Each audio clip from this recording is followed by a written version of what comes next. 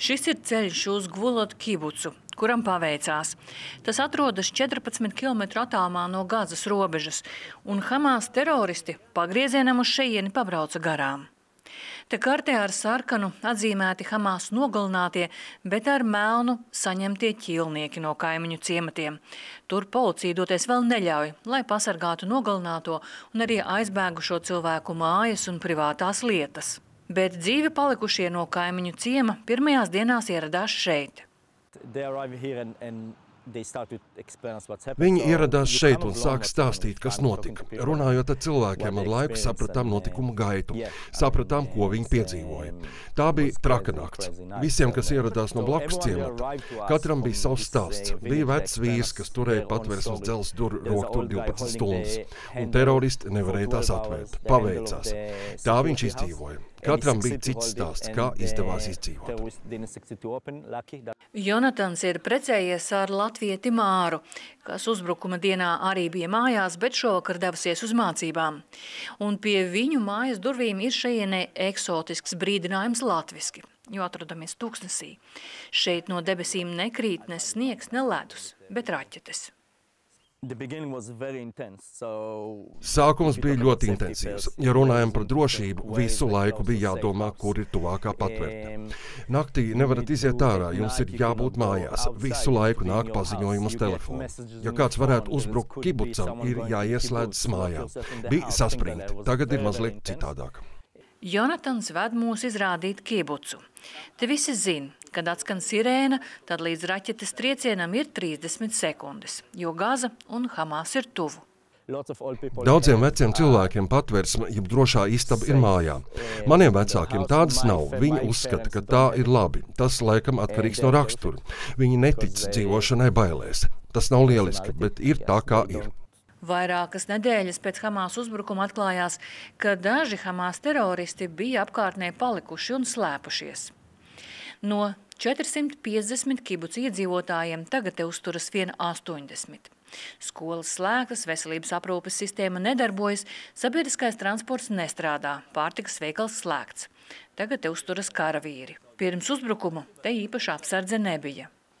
Karavīri apmetušies kibuca kultūras centra drošajā istabā, kas spēja aizsargāt pret raķetēm, bet ne pret Hamas kaujinieku iebrukumiem. Bumbu patvērtnes dažos kibucos nostrādāja kā slazdi. Bija raķešu uzbrukums, un visi devās iekšā, kā parasti, kad atskan trauksmes signāls. Un tad ieradās kibucos teroristi. Viņi zināja, ka cilvēki slēpsies patvērtnēs, kur tos varēs atrast. Jā, protams, jo viņi gribēja nogalināt cilvēkus. Viņi devās tur, kur cilvēki bija paslēpušies. Tā visiem te ir bijusi milzīga trauma. Pagaidām gan psiholoģisko palīdzību tas saņemt nevar. Cilvēki ar to tiek galā dažādos veidos. Mana metode ir būt aizņemtam un darīt to, kas jādara, iet uz priekšu. Ir arī veselīgi, ka ir sabiedrībai, kam jātiek galā ar smagām lietām, humora izjūta. Izrēlā humora izjūta ir specifiska. Karni šobrīd kara laikā ir kibucu vadītāja un cenšas atrisināt visu, kas te palikušajiem iedzīvotājiem un karavīriem nepieciešams. Ir grūti kaut ko dabūt uz šejienu, jo šī ir militārā zona. Un visi, kas te paliek, zina, mums visās jomās ir minimāls servis. Minimum service in all areas. Bet drošības sajūtas nav, viņa atzīst. Un nav līdz galam arī pārliecība, vai var teikt, ka šim kibucam ir paveicies. Yes and no. Yes, Jā un nē. Jā, jo viņi šeit neieradās. Nē, jo mēs zinām visus šajā apkaimē. Mēs zinām daudzus cilvēkus, kas gāja bojā, daudzus, kas tika nolaupīti, un dažiem te ir ģimenes. Un mēs nezinām, ko nākotne mums nesīs. Un mēs nezinām, vai mūsu kaimiņi un mūsu bērnu draugi atgriezīsies.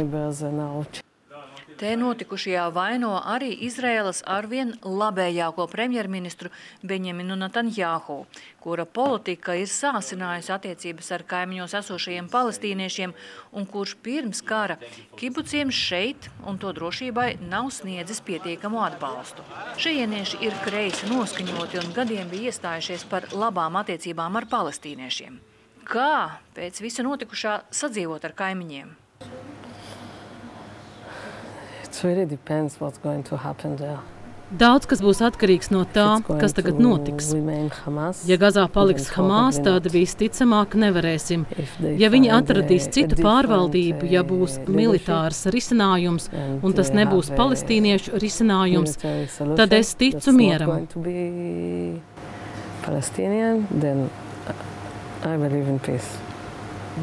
Vai jums ir žēl civiliedzīvotāju, kurus bombardē Gazā? Man ir žēl civiliedzīvotāju, kas nav iesaistīti, bet ļoti daudz ir iesaistīti notikumos. Tā ir ļoti smaga lieta, tā teikt. Manuprāt, bērnu un sieviešu nogalināšana nav pareizā atbilde. Un tomēr mēs redzam 8, 9, 10 gadus vecus bērnus ar ieročiem un sakot, visiem ebrejiem ir jāmirst. Mums ir problēma. Es nezinu, kāds ir risinājums, bet es zinu, ja nebūs militārs risinājums mieram, tad te neviens nevarēs dzīvot. Ilze Nagla, Olafs Perševits no Gvolota kibuca Izrēlā.